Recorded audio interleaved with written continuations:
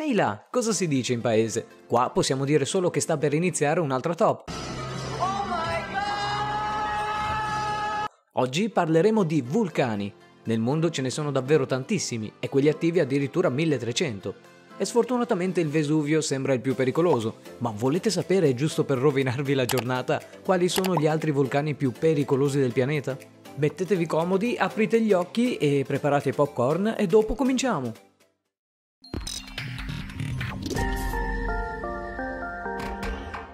Banua Uhu Sembra quasi il verso di una scimmia, invece è il nome di un vulcano. Si trova nelle isole Sangihi in Indonesia ed è un vulcano sottomarino e senza una guida risulterà difficile trovarla e l'equipaggiamento giusto ovviamente servirà. Dal pavimento marino è cresciuto fino a 1312 metri, raggiungendo quasi la superficie, ma la cosa più sorprendente di questo vulcano è che con le sue eruzioni è stato in grado addirittura di creare delle piccole isole. È ancora considerato attivo e nel 2009 un terremoto di magnitudo 7.2 è stato rilevato nella zona. Nonostante la pericolosità sembra sia un posto bellissimo dove immergersi, anche perché altri vulcani sottomarini sono quasi impossibili da vedere. Questo è uno dei pochi visibili facilmente, però state sicuri che lo eviterò ad ogni costo.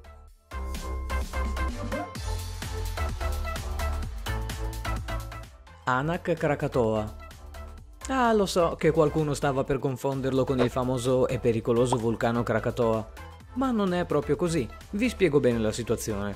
Il Krakatoa, che tutti conosciamo, nel 1883 ha provocato l'eruzione più impressionante mai vista, devastando tutto quanto, distruggendo l'isola Krakatoa. Più di 36.000 persone morirono, in modi orribili. Sembra fosse stata registrata una potenza di ben 200 megatoni, Fu così potente da causare un cambio climatico nel mondo nei cinque anni a venire, diminuendo le temperature di quasi 2 gradi centigradi. Nel 1927, dopo 44 anni dal disastro, dei pescatori hanno notato che la zona del vulcano stava cominciando a mostrare segni di attività. Si stava risvegliando sputando fuori dei detriti di piccole dimensioni, nulla di allarmante, tranne per il fatto che una settimana dopo aver buttato fuori un po' di lava e detriti era nata un'isola chiamata Anak Krakatoa che vuol dire figlio di Krakatoa, sembra proprio un'offesa. Comunque sia, nel dicembre del 2018 un'eruzione aveva causato un brutto tsunami nella zona ed essendo così giovane i ricercatori temono si verificheranno sicuramente tantissime altre catastrofi a venire in questo vulcano. Parikutin Basta Indonesia, adesso ci troviamo in Messico e un umile contadino si è ritrovato con un vulcano dietro casa. Ma procediamo con ordine. Nel febbraio del 1943 Dionisio Pulido, come detto prima un semplice contadino, si stava preparando ad iniziare la primavera, bruciando così un po' di erbacce arbusti qua e là e altre cose. Meglio iniziare prima piuttosto che fare all'ultimo come me. Tornando a Dionisio verso il pomeriggio era andato in un'altra zona. Arrivato sul posto però notò una crepa molto ampia, quasi 2 metri e con una lunghezza di 45.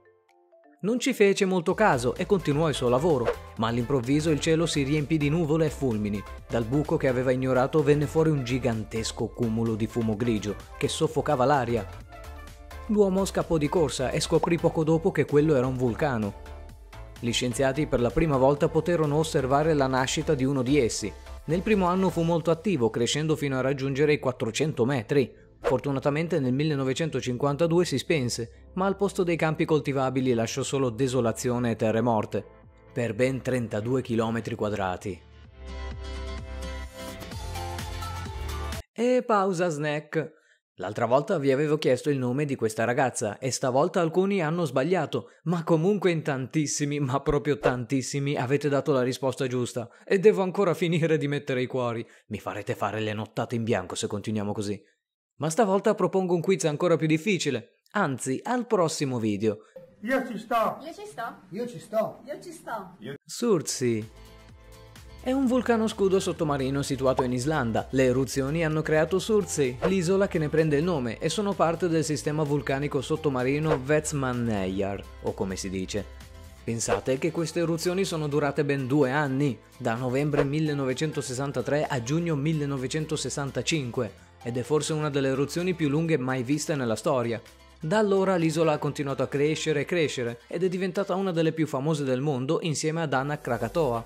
Ma in questo caso per qualcosa di alquanto particolare e incredibile. Dentro essa stava nascendo vita, vita nuova con migliaia di piante da studiare e tanti animali che hanno cominciato ad abitarla nello stesso momento. La sfiga è che ancora una volta è un vulcano attivo e potrebbe eruttare da un momento all'altro, ma se non lo facesse, secondo le ricerche, l'isola e i suoi esseri sparirebbero nel 2100. Nishinoshima Prima del 1973 l'isola di Nishinoshima non aveva avuto eruzioni per ben 10.000 anni. In realtà è la punta del vulcano Nishinoshima, un vulcano sottomarino di circa 3.000 metri di altezza e 30 km di larghezza alla base. Si trova a 970 km da Tokyo nelle isole Osagawara. Nel 1973 qualcosa cominciò a muoversi sotto i mari, le eruzioni quindi cominciarono e altre isole si formarono, unendosi poi alla principale che si trovava sopra la bocca. Così si estese la zona, ma non era finita. A 500 metri a nord un altro vulcano eruttò sempre sotto i mari e creò un'isoletta di 200 metri di larghezza e 20 in altezza. Nulla di che finché in pochi mesi essa crebbe e già a fine gennaio 2014 era grande 30 volte di più, a inizio maggio 2014, dopo l'unione con Nishinoshima, il diametro congiunto era di un chilometro e l'altezza di 60 metri. Alcuni pensano che ad oggi sia finita e che si sia addormentato, ma non è così. In elicottero durante un controllo è stata notata dell'attività e che forse più avanti potrebbe di nuovo eruttare. Hunga Tonga nel 2015, dopo l'eruzione di un vulcano vicino alle isole Tonga, nel sud del Pacifico, una nuova isola era emersa. Il nome era Hunga Tonga e gli scienziati pensavano fosse molto ma molto instabile, rischiando di eruttare ancora. È famoso perché è uno dei soli tre vulcani ad essere nato negli ultimi 150 anni ed è rimasto tranquillo negli ultimi quattro dopo essersi unito piano piano ad altre piccole isole, formando addirittura un nuovo ecosistema All'inizio le terre emerse sembravano aride e rosse come quelle di Marte, ma incredibilmente tutto cambiò e cominciarono a formarsi piante e nascere forse nuove specie di animali, che ancora devono essere studiati. I ricercatori non vogliono avvicinarsi incautamente visto che potrebbe eruttare da un momento all'altro, ma isole del genere non vivono molto a lungo e potrebbe benissimo sparire subito.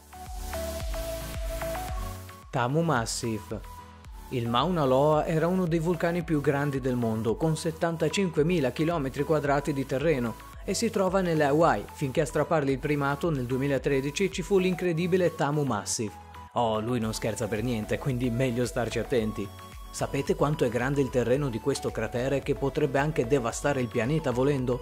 310.000 km2 alto 4.000 metri, largo 650 km e posizionato a 6.000 metri sotto l'Oceano Pacifico, vicino Giappone, Cina e Filippine. Ma questa grande crepa spaventosa sembra sia anche uno dei più grandi del sistema solare finora conosciuti.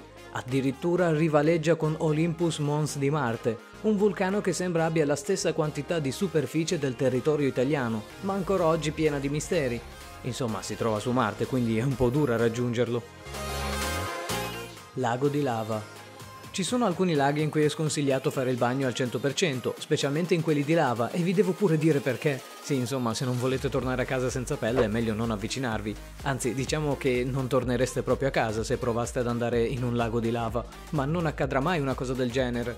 Perché a differenza di quello che si pensa, i laghi di lava non sono così frequenti. Ce ne sono soltanto 8 in tutto il mondo su 1500 vulcani attivi, non parlo delle colate di lava che riempiono alcune zone dopo un'eruzione, quelle si solidificano subito a contatto con l'aria.